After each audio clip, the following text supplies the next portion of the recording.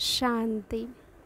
मुरली तारीख सत्रह अप्रैल दो हज़ार तेईस। बाबा के महावाक्य। मीठे बच्चे, माया के वश हो, ईश्वरीय मत के विरुद्ध कोई कार्य नहीं करना। कभी भी बाप की निंदा नहीं कराना। प्रश्न, माया भी बाप की मददगार है। कैसे?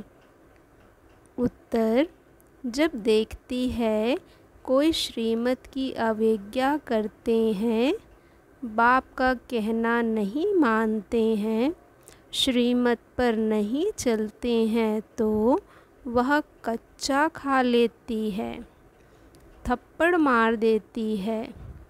सयाना, वह जो बाप की याद से माया को परख उसके वशीभूत ना हो।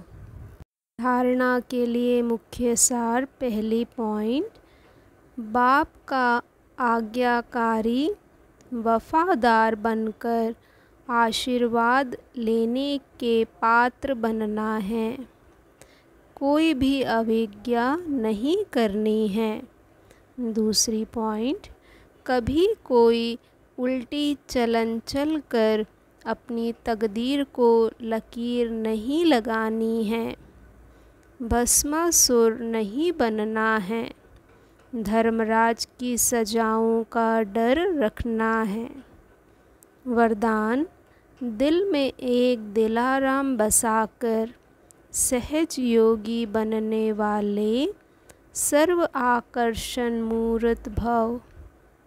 दिलाराम को दिल देना, अर्थात दिल में बसाना। इसी को ही सहज योगी कहा जाता है।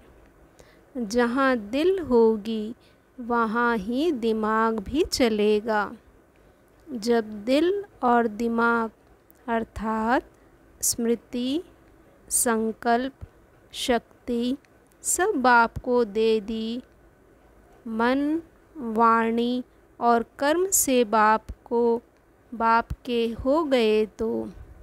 और कोई भी संकल्प व किसी भी प्रकार की आकर्षण आने की मार्जिन ही नहीं। स्वप्न भी इसी आधार पर आते हैं। जब सब कुछ तेरा कहा तो दूसरी आकर्षण आ ही नहीं सकती। सहज ही सर्व आकर्षण मूर्त बन जाएँगे। स्लोगन, बाप से और ईश्वरीय परिवार से जिगरी प्यार हो तो सफलता मिलती रहेगी। ओम शांति।